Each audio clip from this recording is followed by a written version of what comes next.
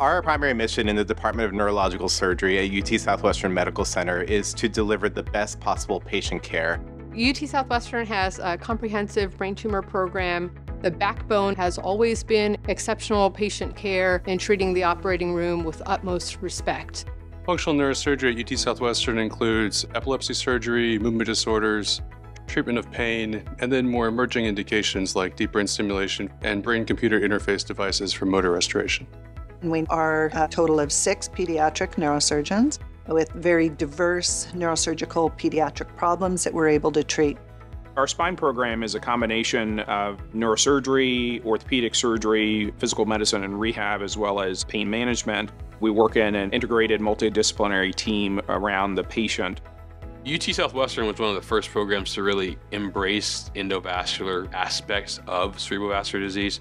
When we take care of patients, they're both acute emergencies, which are stroke, but also life-altering diagnoses like aneurysms and arteriovenous malformations. We pride ourselves on being able to manage all aspects of cerebrovascular disease. Most people know the Department of Neurosurgery at UT Southwestern Medical Center for its clinical excellence and innovation. We're not done innovating. Whether it's for our patients, it's for our trainees, or for science.